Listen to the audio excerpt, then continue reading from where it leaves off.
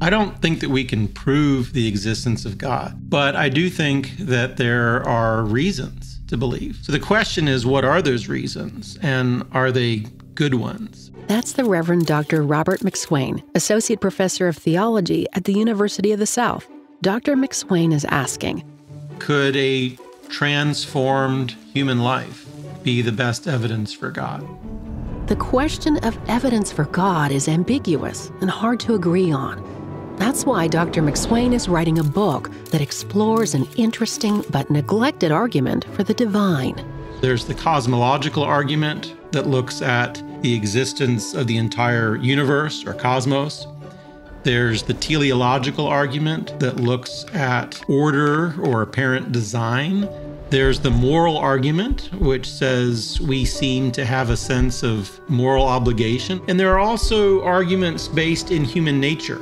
People look at our capacity for reason and even consciousness. What's unusual about what I call the hagiological argument, or the argument from human holiness, is that it doesn't look at things that are very big or pervasive or abstract, but something very concrete. For example, a person that we might actually know or come in contact with. I first really grasped this through the work of Austin Farrer, who says explicitly that the saint is our evidence. The traditional definition of a saint is someone who has already died, and that's not really what I mean. I mean people who are living at a higher level of holiness and love and altruism.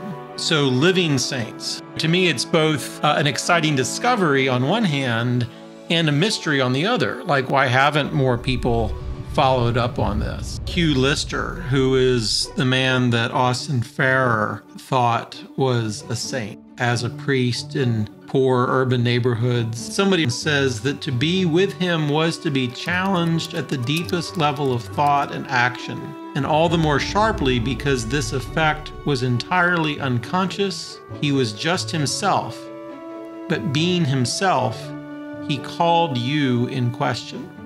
But even within this new way of looking at humans as evidence of God, there are nuances.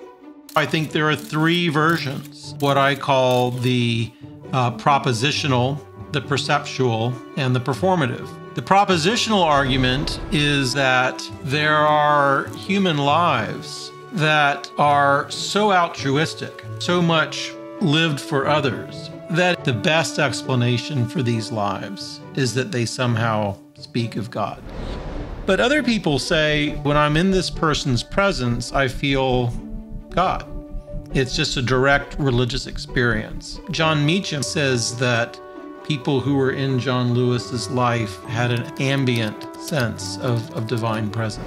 The performative uh, is even more interesting in the sense that it says, no, it's that over the whole course of this person's life, they've somehow lived out the evidence for God it would be easier for us if we could just say, you know, here's the argument for God's existence, accept it or not. But what Rowan Williams suggests is that God doesn't give us arguments, God gives us lives. That that's how God makes himself real is through other human lives. And of course, that then presents us the challenge to ourselves become the kind of life that speaks of God to others. So, what is it exactly about these unique lives that gets our attention? While they may make us feel uncomfortable, we still feel that somehow in them we're seeing how humans should be. In his forthcoming book, The Saint is Our Evidence, Dr. MacSwain digs into this fascinating premise, including questions he has yet to fully resolve, like how many of these saints are among us? I think it's a really interesting question. It's got to be a significant enough number that most of us have at least had an indirect encounter, but it also has to be small enough for them to be still very rare and precious.